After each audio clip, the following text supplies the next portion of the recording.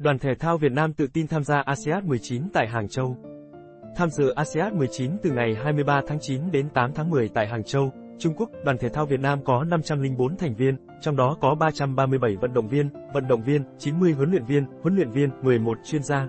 Các vận động viên thi đấu 31 phần 40 môn thể thao, dự 202 phần 483 nội dung thi đấu tại đại hội. Lễ xuất quân của đoàn thể thao Việt Nam tại Hà Nội tối 16 tháng 9, ảnh, quý lượng. Chỉ tiêu của đoàn là giành 2 đến 5 HCV, đồng thời phấn đấu có nhiều vận động viên, vận động viên vượt qua vòng loại Olympic 2024. Các môn được xem là thế mạnh, có thể mang về HCV cho thể thao Việt Nam tại ASEAN 19 gồm karate, Cổ mây, bắn súng, quyền Anh.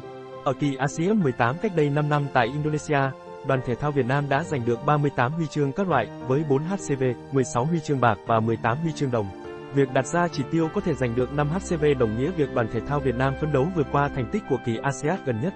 Về phía lãnh đạo ngành, Bộ trưởng Bộ VFPT NDL Nguyễn Văn Hùng nhấn mạnh, những người làm thể thao và các huấn luyện viên, vận động viên cảm thấy ấm lòng khi tiếp tục được đón nhận sự quan tâm của lãnh đạo, của người hâm mộ. Đoàn thể thao Việt Nam sẽ thi đấu với nỗ lực, quyết tâm cao nhất để hoàn thành mục tiêu. Bộ trưởng Bộ VFPT NDL Nguyễn Văn Hùng phát biểu tại lễ xuất quân đoàn thể thao Việt Nam dự ASEAN 19, ảnh, quý lượng, Cục trưởng Cục Thể dục Thể thao, trưởng đoàn thể thao Việt Nam tại ASEAN 19. Ông Đặng Hà Việt nói, đoàn thể thao Việt Nam thấy rõ trách nhiệm của mình và chuẩn bị một tinh thần vững vàng, ý chí quyết tâm, khát vọng cống hiến, sẵn sàng bước vào cuộc quyết đấu vì vinh quang và màu cờ sắc áo của Tổ quốc.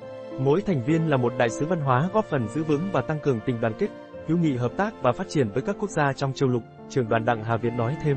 Mức thưởng